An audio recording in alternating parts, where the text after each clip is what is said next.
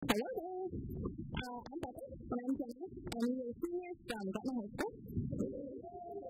And our piece is called Other Girl. Welcome to the world of young adult a separation of two. Girl A, the protagonist, purposely in love with the boy. Girl B, the antagonist, the one who knows how to get the boy, who is lipstick and leggings and makes perfect. Probably beautiful, probably skinny, probably average in all other aspects.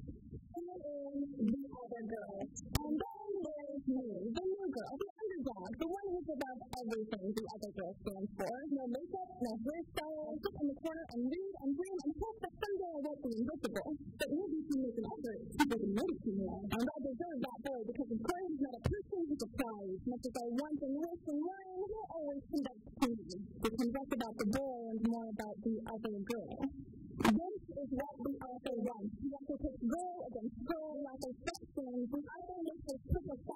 works. This is the right of the nerd girl. Here.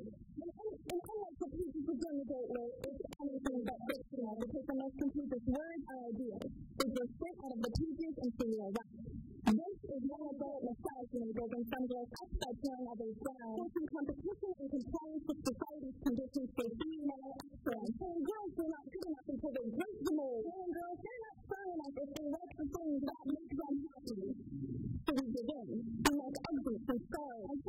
and boy bands and girls and legends and starbucks like the mainstream like nothing is wrong unless you like the right thing. Just once I want the villain of the story to be not like other girls. That's exactly you. I'm going to see. Unlike other girls. This is the empty music. Unlike other girls. This kind of this poetry. Unlike other girls. Other girls know their pink, but this girl wears black and it's a hand down call. This is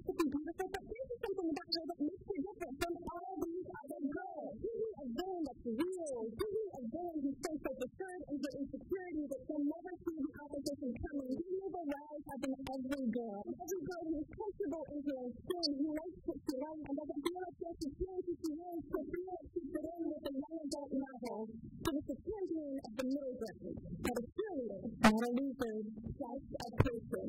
Because I'm sick and tired of telling girls that they have to hate each other. So, like us, I'm ready for a girl who is like other girls. Don't hold your breath. Because unless someone steps forward to BBI. There's a lot like other authors.